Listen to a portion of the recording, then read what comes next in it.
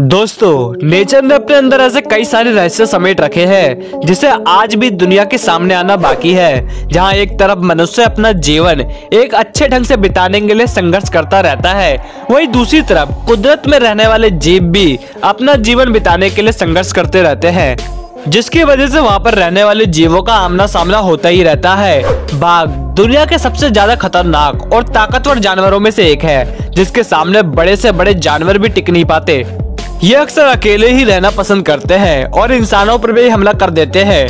वहीं दूसरी ओर, शांत स्वभाव से दिखने वाले हाथी भी काफ़ी ज़्यादा खतरनाक और ताकतवर होते हैं। इन्हें गुस्सा आने पर ये पूरे जंगल में तबाही मचा देते हैं। तो दोस्तों, आज की इस वीडियो में हम इन दोनों जानवरों को कंपेयर करके ये बताने वाले हैं कि इन दोनों जानवरों में कौन सबसे ज़्यादा ताकतवर है। इसीलिए इस वीडियो को आखिरी तक ज़रूर देखना।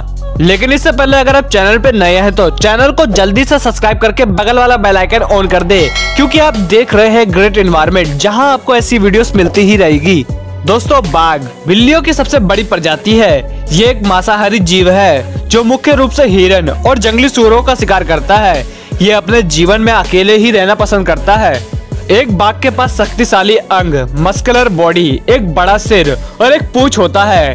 जो उसके शरीर की लंबाई के लगभग आधा होता है। इनका नारंगी रंग इन्हें वनस्पतियों में छुपने में मदद करता है जिससे कई जानवर धोखा खा जाते हैं और बाघों का शिकार हो जाते हैं। बाघ एक खतरनाक और ताकतवर जीव है। ये बात तो आप जानते ही होंगे। बाघ अपने इलाकों को सुरक्षित करने के लिए दूसरे बाघों तक पर हमला कर देते हैं।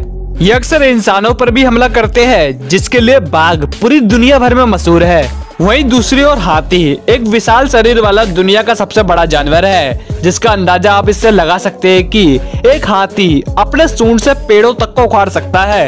आज धरती पर हाथियों की केवल दो ही प्रजातियाँ पाई जाती है, अफ्रीकी हाथी और एशियाई हाथी। हाथियों के शरीर में इनका सूंड एक महत्वपूर्ण भूमिका निभाता है। इनका सूंड सांस लेने, मुँह में खाना और पानी लाने और चीज़ों को पकड़ने में मदद करता है। वैसे तो हाथी अक्सर शांति रहते हैं और पूरे दिन भर खाना खाते हैं, परंतु जब ये गुस्से में आते हैं, तब पूरे जंगल में तबाही मचा देते हैं। एक एशियाई हाथी का वज़न लगभग 4000 किलो तथा एक अफ्रीकी हाथी का वज़न लगभग 6000 किलो के आसपास होता है। आमतौर पर बाघ और हाथी आपस में उलझते नहीं है बाघ अक्सर छोटे और कमज़ोर जानवरों को ही अपना शिकार बनाता है, परंतु ये हाथियों पर भी कभी कभार हमला कर देता है।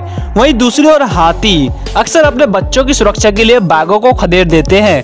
इन दोनों को कंपेयर करने पर यह पता चलता है कि इन दोनों जानवरों में हाथी सबसे ज़्यादा खतरनाक और ताकतवर साबित होगा। परंतु उसका ये मतलब नहीं कि बाघ ताकतवर नहीं है।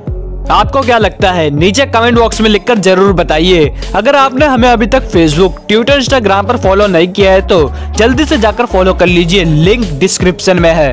उम्मीद है दोस्तों, आपको ये वीडियो अच्छी लगी होगी। अगर आपको ये वीडियो अच्छी लगी तो वीडियो को लाइक शेयर कमेंट ज़रूर कर दे। और हाँ आगे ऐसी वीडियोस देखने के लिए अभी हमारे चैनल ग्रेट एनवायरमेंट को सब्सक्राइब करके बगल वाला बेल आइकन ऑन कर दे। मिलते हैं अगले वीडियो में।